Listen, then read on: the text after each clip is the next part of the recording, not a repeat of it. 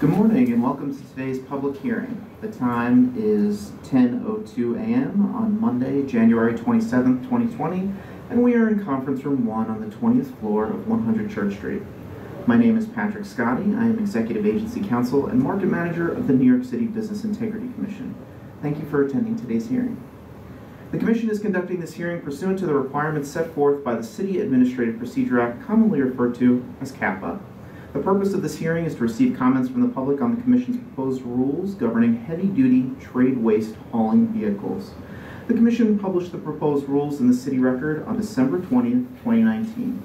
We also disseminated a copy of the rules via email to all New York City local elected officials, the managers of all 59 community boards, several media organizations in the city, and other interested parties.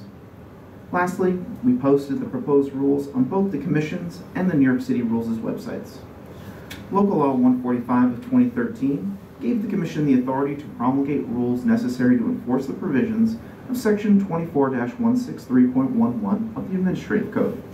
Local Law 145 of 2013, which added Section 24-163.11 to the Administrative Code, requires that every heavy-duty trade waste hauling vehicle that is owned or operated by an entity required to be licensed or registered by the Commission and operating in New York City be equipped with either one, an EPA certified 2007 or later engine, or two, utilize best available retrofit technology as determined by the New York City Department of Environmental Protection before January 1st, 2020. Under Section 24-163.11D5 of the Administrative Code, the Commission may set by rule the criteria for establishing procedures for owners and operators of heavy-duty trade waste hauling vehicles to demonstrate compliance with the engine requirement.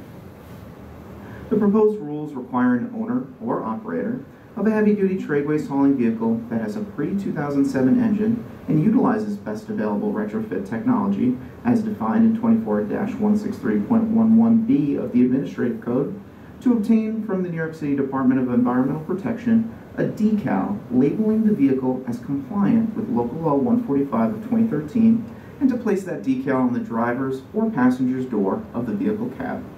Additionally, the Commission proposes changes to the penalty section of its rules. The final proposed rule change clarifies that BIC will not issue license plates to vehicles that do not comply with the requirements set forth in Section 24-163.11 of the Administrative Code.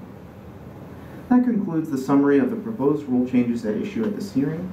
You may present an oral statement for the record or submit written comments concerning the proposed rule changes. Additionally, the Commission has been accepting written comments on the proposed rule since the publication in the City Record and will continue to do so through the close of business today. The Commission will make available a copy of any written comments that are received in connection with today's hearing on its website. The Commission will carefully review and consider all comments and submissions and make any changes if the Commission deems them necessary. The rules will go into effect 30 days after they are published in the City Record. Since there is no one currently in attendance who has signed up to speak, uh, we're going to go to a short recess and ensure there are no stragglers attempting to get through security.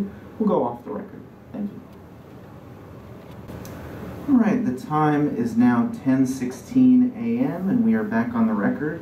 During the break, no members of the public arrived to give testimony, so we will now close the record for this hearing.